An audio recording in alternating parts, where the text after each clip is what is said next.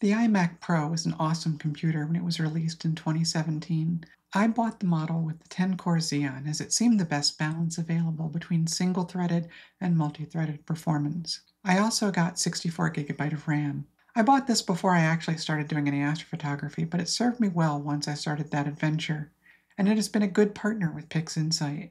So much so that I've been content to wait to upgrade until PixInsight natively supported Apple Silicon. However, at seven years old, the system is starting to show its age. My plan had been to buy the M3 Mac Studio as a replacement this year, except that Apple didn't release a new Mac Studio, and based on the reports of the M3 chip performance relative to the M2 and the expected improvements coming in the M4, I decided it was worth waiting until 2025 for that. However, I did pick up an M3 MacBook Air. Now, this really wasn't intended for PixInsight, but having spent a good chunk of my professional career focused on software performance, I began to wonder how the two systems would compare.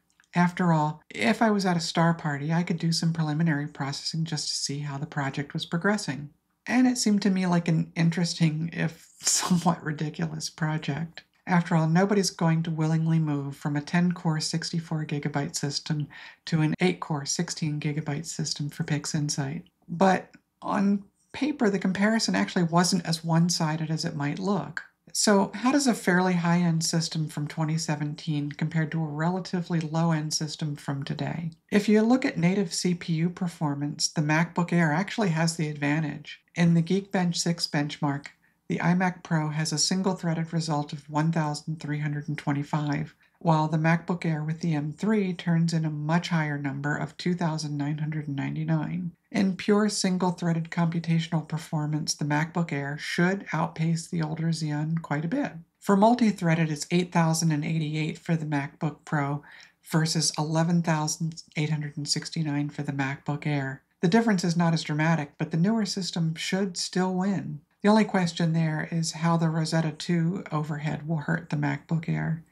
Since, since PixInsight is compiled for Intel and not for the native Mac Silicon, the Rosetta 2 translation subsystem must translate the Intel instructions to native AMD instructions. Exactly how much this will cost remains to be seen. For GPU performance, though, the situation reverses, with the Radeon Vega 64 outpacing the 10 core M3 GPU with an OpenCL Geekbench 6 result of 53,580 for the iMac Pro versus 30,155 on the MacBook Air. The metal version of the numbers are higher in both cases, but proportionally so.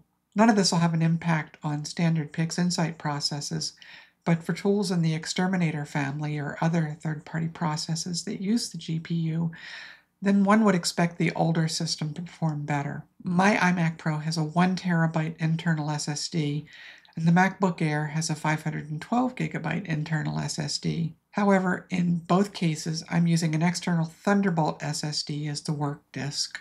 The raw data comes from a network share on a QNAP NAS. The iMac Pro reaches that share via a 10 big, excuse me, a 10 gigabit Ethernet and the MacBook Air via Wi-Fi 6. The QNAP NAS is also connected via 10 gigabit Ethernet. For swap, each subsystem has a directory on the internal and external SSDs. This particular configuration maximizes the results of the PixInsight benchmark script. And speaking of that PixInsight benchmark, the iMac Pro produced a 17,200 CPU and 18,900 swap for a total of 17,400, while the MacBook Air produced a total of 10,800 CPU, 17,200 swap, and a total of 11,600. The lower CPU score on the MacBook Air might be attributable to Rosetta 2, and I say might be because I really don't know what the benchmark is doing and how much of an impact the lower amount of memory on the MacBook Air has on that benchmark score. Unlike Geekbench, the PixInsight benchmark exhibited a bit more variability from run to run, so these are averages of five consecutive runs. The swap values in particular were quite variable. I've not been able to determine the cause for that. Could be any number of things, and whether it's being caused at the application, operating system, or hardware level was beyond my ability to analyze. With all of that out of the way, so how did they actually compare in PixInsight for real workloads? For this test, I ran WBPP with a set of data taken at home with the ASI 6200mm Pro camera. These are large files. Each file saved by NINA in compressed XISF format is 77 megabytes. There were three nights of data. Each night had its own flats, and there were master darks for the entire dataset. WBPP did calibration, cosmetic correction, measurement, bad frame rejection, registration, local normalization, integration, and 1x drizzle integration. Combined, this took an hour and 55 minutes on the iMac Pro, and it kept the fans on the system pretty active for a large chunk of that time. The fans on the iMac Pro aren't obnoxiously loud, but they're definitely noticeable when they get much over idle, and at full speed put a fair amount of noise and heat into the room. On the other hand, the MacBook Air took 3 hours and 34 minutes. That really doesn't tell the whole story. Let's look at some of the individual processes. Calibration of 15 flat frames took 2 minutes 10 seconds on the iMac Pro versus 1 minute 41 seconds on the uh, on the MacBook Air. However, calibration of 13 light frames on the iMac Pro took a minute 54 versus 3 minutes 20 on the MacBook Air. Measurement took 2 minutes and 4 seconds to measure 65 subs on the iMac versus 6 minutes 27 on the MacBook. Registration of 21H subs took 3 minutes and 27 seconds on the iMac Pro versus 726 on the MacBook Air. Local normalization reference generation for, for H took 2 minutes 16 seconds versus 4 minutes 19 seconds. Local normalization for H took 4 minutes 45 seconds versus 9 minutes 15 seconds. Integration of H took 1 minute 42 seconds versus 2 minutes 59, and drizzle integration for H took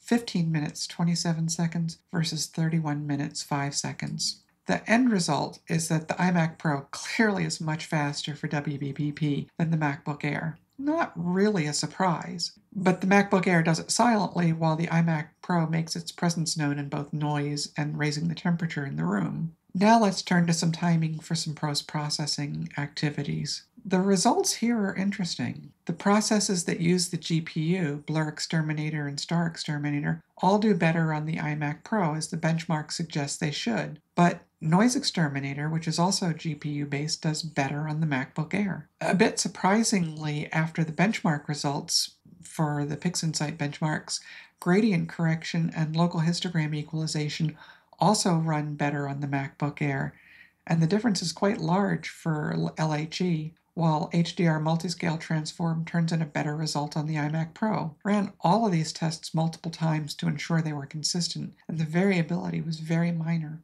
only a second each way. What kind of conclusions can we draw from this? Given the processes where the low end MacBook Air wins, it seems likely that they are purely CPU bound processes and that memory doesn't affect them much. They also don't run long enough for thermal throttling to become an issue on the MacBook Air. For processes like image integration that run best with a lot of memory, performance really suffers on the MacBook Air with only 16 gigabytes. These processes also run long enough and are CPU intensive enough for thermal throttling to probably become a factor, especially for the batch processes. Based on these results, I suspect the biggest factors in this comparison for the MacBook Air running more slowly overall are in this order memory, thermal throttling, and then Rosetta. I can't give any quantitative data to say how much of a factor each is, but based on the processes that ran faster on the MacBook Air and my possibly flawed understanding of what's going on inside of those processes, I think that memory and thermals are the biggest factors. I'm pretty sure the M2 Ultra Mac Studio or the M3 Max MacBook Pro would beat the iMac Pro, but at a cost that is substantially higher than the MacBook Air. When what will probably be the M4 Max and the M4 Ultra Mac Studio systems show up next year and equipped with at least 64 gigabytes of RAM, they should handily outperform the 2017 iMac Pro. But that iMac Pro held its own for quite a long time, and even now it still does well against all but the highest end modern systems in that respect, this system has stood the test of time pretty well, and getting seven years from it, probably close to eight by the time its intended replacement arrives, not a bad run. It might be in the middle of the pack now on the PixInsight benchmark database, but it takes a pretty high end modern system to beat it, although they do beat it quite handily now. I know this comparison isn't the sort of thing anyone would normally do, but I think it does have some value, especially in terms of understanding how computers have changed over the last seven years and where putting money into a new system to run PixInsight is going to give you the most bang for your buck. PixInsight really does exercise all the components of the system memory, capacity and bandwidth, CPU performance, disk I/O bandwidth and latency, third-party processes using the GPU. Really, unless you have an unconstrained budget, it really helps to know where it can be the most beneficial to allocate the cash. So I hope that was at least somewhat interesting, if a bit odd. Until next time, clear skies.